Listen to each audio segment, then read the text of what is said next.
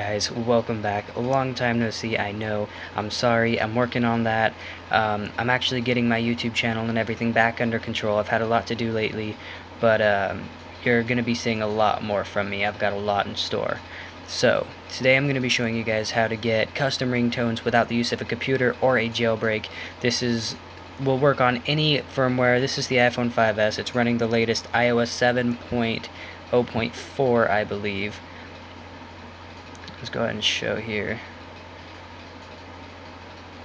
let's see 7.0.4 as you can see right there alright I'm sorry about the bad video quality I'm actually I actually just got a new camera and I am working on setting it up but for now I just wanted to push this out to show you guys that I am working on things for you guys and I've got a lot more in store so before we get started um, this is actually going to involve you having to buy an app for 99 cents. This is all it's going to cost. It's the app is called, here let me find it for you guys. It's called Tone Convert, so you're going to need this app, Tone Convert, and you are going to need GarageBand. All the links down in the description. I'll show you guys here. GarageBand is actually free right now. I know it costs like $4.99 or something like that a little while back. But uh, it's actually free on the App Store. There's Tone Convert.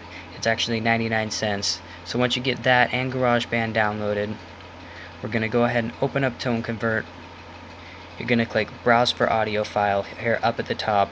And I like to go to Zedge.net. This is actually a really good place for, uh, for ringtones.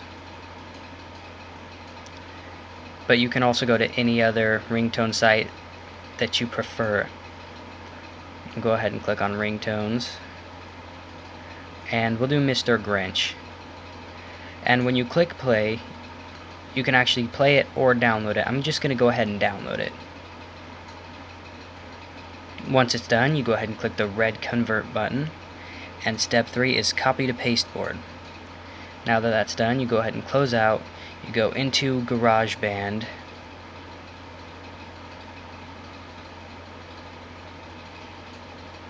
Wait for this to load up. And then you want to add right up here. And you want to go to add and you want to click on audio recorder. Once this is done you wait for this little icon toggle up there to load. If this does not load up for you guys the first time just go ahead and record something stop it let it load for a second. This little button right there will pop up. You can delete whatever else you have in this little bar. You go ahead and hold down on it and press paste once it pops up. There we go. And you can play it Mr. Grinch. Alright, and once you've got that in there, just like that, you want to go ahead and click here. And go back to My Songs. And you want to select it. You want to select My Song 5, which is the Mr. Grinch that I have right there. You want to click this little up arrow and click Ringtone.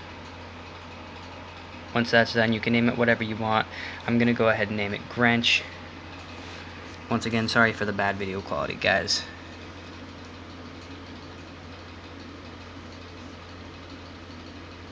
Let's go ahead and name it Grinch. And once it is done, go ahead and click Export up at the top right hand corner. Ringtone export successfully. Okay, so now we can go ahead and go back into the settings here. Go into sounds, ringtone. Christmas dubstep is actually one I just downloaded also from this exact thing. Alright, then you want to go ahead and find Grinch, or whichever one you added as. Mr. Grinch, and it's that simple, guys. So, I hope I helped you guys today like I said, I'm going to be getting back into this. And yeah, so follow, like the video, and until next time, guys, peace.